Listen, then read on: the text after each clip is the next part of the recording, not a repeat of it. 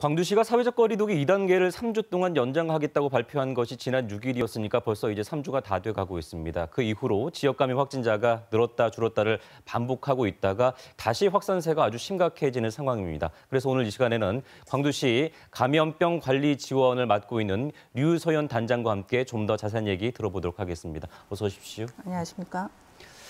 그 광주 지역이 어제 지역 감염이 무려 36명, 아 35명이 발생을 했습니다. 지난 8월 26일에 38명에 의해서 두 번째로 이제 많은 수치인데 이번 주 들어서 우리 지역의 감염이 다시 늘고 있는 상황 어떻게 지금 판단하고 계시는지요? 네, 일단은 이제 지역 사회에 좀 더 전반적으로 확산이 되어 있다라고 생각을 하고는 있습니다. 그런데 이제 8월 말에 발생했던 거는 하나의 동일 집단에서 이제 대규모의 환자가 발생을 했었던 거고요.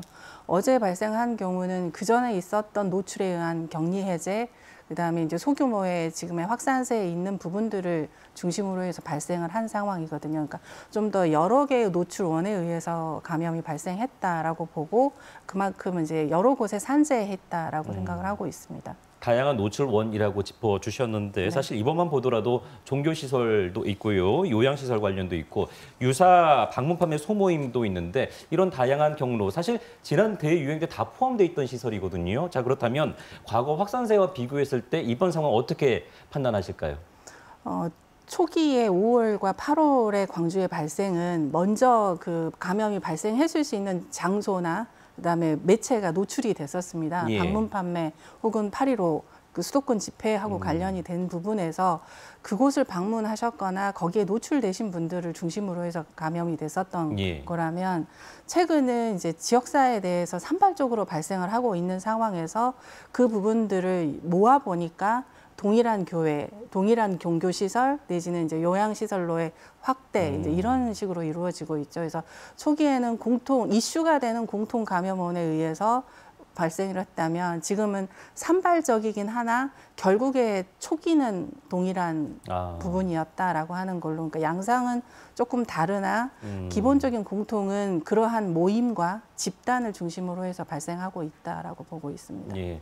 그런데 최근 일주일 동안의 확진자 현황을 보면은 그 전북 지역을 포함해서 어, 호남권은 하루 평균 36명, 그 중에 어, 60대 이상이 17명 정도 절반 이상을 차지하고 있는데 고령층이 상당히 많습니다.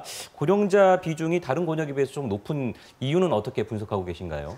어, 최근 일주일 사이에 60대 이상의 고령이 많은 거는 이제 얼마 전부터 발생하는 요양시설의 환자 때문에 아, 그렇죠. 이제 그렇죠. 예. 그래서 요양시설은 보통은 가정하고는 다르게 다수의 노인들이 입소해 있는 상황이고 거기에서 감염이 이루어지면 폭발적으로 대규모의 발생이 일어날 수밖에 없다라고 하는 상황에서 최근에 노인에서의 발생이 나타나는 거고요.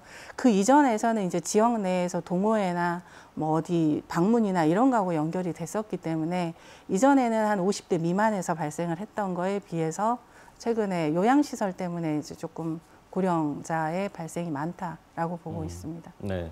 자, 요양시설을 중심으로 한 고령자 어, 환자들이 늘다 보니까 아무래도 이렇게 환자가 급증하다 보면은 이 병상 부족이 상당히 큰 문제일 것 같고요. 수도권도 이제 어, 많은 환자들이 또 지역으로 내려가 있고 수도권에서는 서울에서는 특히 컨테이너식 이동 병상까지 운영을 하고 있는 상황인데 우리 지역은 어, 좀 괜찮은 것인지 어떻게 대비를 하고 있을까요? 어, 전체적인 병상 규모로는 아직은 조금 여유가 아, 있기는 아, 합니다. 그런데 네. 이제 국가지정이나 중증의 환자를 치료하는 병상 부분은 외부 지역과 광주 지역으로 해서 거의 채워져 있는 상황이고요.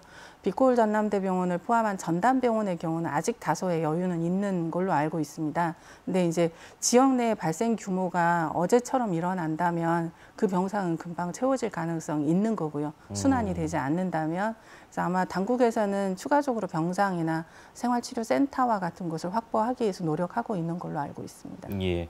대비를 좀 잘 해야 되겠습니다. 특히 수도권은 지금 5인 이상의 사적 모임 금지 같은 행정명령이 시행이 됐는데 어, 모든 뭐 전국적으로는 행정명령은 아니지만 동일하게 내일부터 이제 방역 조치가 강화되는 거죠. 권고사항인가요? 어떤가요?